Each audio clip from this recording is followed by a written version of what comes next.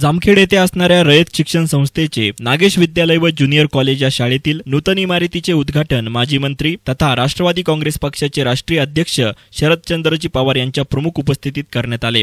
या कार्यक्रमाचे सूत्रसंचलन संतोष सरसमकर यांनी तर आभार प्राचार्य काळे सर यांनी मानले. यावेळी रोहित पवार घनश्याम शेलार राजेंद्र फाळके दादा कळमकर माजी मंत्री दिलीप वळसे पाटील मंजुषा गुंड संध्या सोनवणे सह राष्ट्रवादी काँग्रेसचे तालुका अध्यक्ष दत्ता वारे मधुकर राळेभात पवन राळेभात दिगंबर चव्हाण समीर पठाण जुबेरभाई सय्यद सह सर्वच पदाधिकारी कार्यकर्ते शिक्षक विद्यार्थी बहुसंख्येने उपस्थित होते.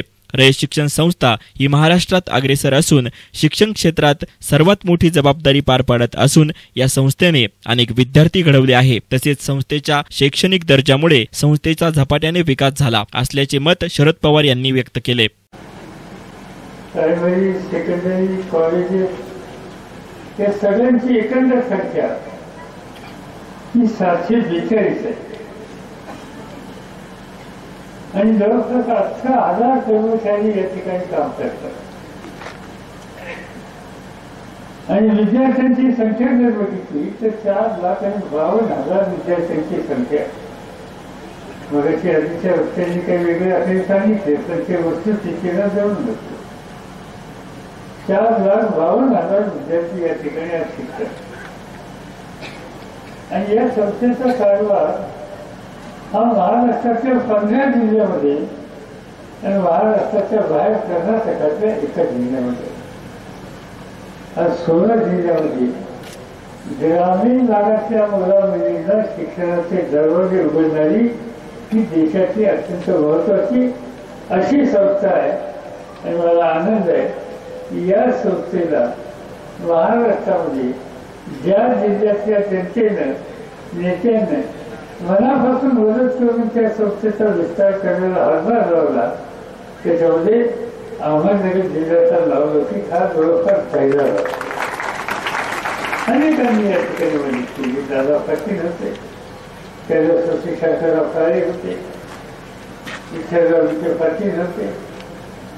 अनेकांची नावं या ठिकाणी घेता येते म्हणजे सगळ्यांनी अण्णा नाचवलेला साथ दिली. त्यामुळं या जिल्ह्यात अनेक ठिकाणी संस्थेचा विस्तार वाढलेला आहे. आणि संस्थेतून हजारो विद्यार्थी विद्यार्थिनी या ठिकाणी बाहेर करतात तर या दुष्काळी भागात व्यावसायिक व्यवस्थापन अथवा शेतकऱ्यांचा विकासासाठी काही योजना राबवून येथील प्रत्येकाच्या हाताला रोजगार उपलब्ध करून देण्याची गरज असल्याचे रोहित पवार यांनी स्पष्ट केले. असतील राजकीय असतील आणि इतर क्षेत्रामध्ये मोठ्या प्रमाणात नाव आज कमवत आहेत. पवार साहेबांबरोबर आम्ही लहानपणीपासून जेव्हा चर्चा करत आहोत तेव्हा साहेबांना आम्ही विचारत विचारत होतो की बारामतीमध्ये एवढ्या मोठ्या प्रमाणात संस्था विद्या प्रतिष्ठान असेल शारदा नगर असेल टीसी कॉलेजला त्यांनी तिथं ताकद दिली. आणि फक्त बारामतीमध्ये ताकद नाही दिली तर इतर कुठे जिथं कुठं आपल्याला मदत करता येईल याच्यासाठी पवार साहेबांनी प्रामाणिकपणे प्रयत्न केले. त्यांचं नेहमी म्हणणं असायचं की ग्रामीण भागामध्ये जर चांगल्या अशा शाळा आल्या तिथं असणाऱ्या कॉलेजांना जर आपण ताकद दिली तर सहसा ज्यांच्याकडे पैसा आहे ज्यांच्याकडे काही आपल्याला बाहेर जाऊन शिक्षण घेण्याची ताकद आहे कुवत आहे तीच लोक फक्त बाहेर जाऊन कुठं नगरसारख्या ठिकाणी पुण्यासारख्या ठिकाणी मुंबईसारख्या ठिकाणी असे जात होते. पण आपण ग्रामीण भागामध्ये तिथे असणाऱ्या शिक्षण संस्थेला जर ताकद दिली तर तिथे असणारे जे काही युवक आहेत जे काही मुलं आहेत त्यांची ताकद नसताना सुद्धा त्या परिसरामध्ये त्यांना चांगलं असं शिक्षण हे आपल्याला कसं देता येईल याचा प्रयत्न पवार साहेबांनी केला.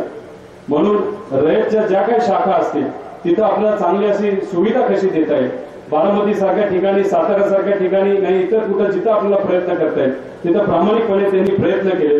म्हणून मला असं वाटतं की आतापर्यंत जे काही मुलं चांगल्या पद्धतीने शिकून शिकू शकली ती अण्णांनी चालू केलेल्या संस्थेमुळे आणि नंतर इथे असणारे जे सर्व रयतचे शिक्षक आहेत त्यांच्यामुळे मला असं वाटतं की इथे असणारे बहुजन समाजातले मुलांना तिथं चांगलं असं शिक्षण आपल्याला देतात तर आपण सर्वच युवा शक्तीला संधी देऊन नवे पर्व निर्माण करून विकास केला पाहिजे असे माजी मंत्री दिलीप वळसे पाटील यांनी सांगितले.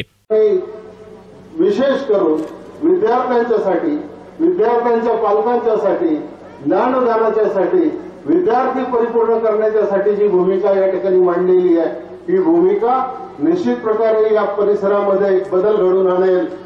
हा विश्वास माझ्या साथीच्या मनामध्ये आहे आणि तोच विश्वास आपल्या सगळ्यांच्या मनामध्ये आहे.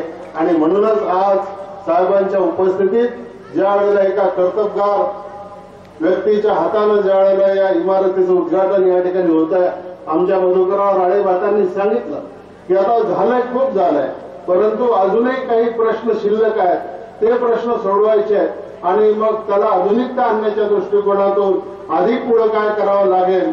आता नव्या विचाराचं नवीन गतीचं नवीन नेतृत्व या परिसरामध्ये रोहित दादांच्या माध्यमातून या ठिकाणी काम करतात जरूर आम्ही सगळेजण रयत शिक्षण संस्थेचे सेवक आम्ही जे काम करतो निश्चित प्रकारे रयत शिक्षण संस्थेच्या माध्यमातून आदरणीय साहेबांच्या नेतृत्वाखाली या परिसरातल्या या समस्या पुढे घेऊन जाण्याचा प्रयत्न करू. एवढंच या निमित्तानं सांगतो. आपल्याला सगळ्यांना मनापासून धन्यवाद देतो आणि आपली रजा घेतो. जय हिंद जय Maharashtra. News reporter Sachin Dokhe S nine media Jamkhed.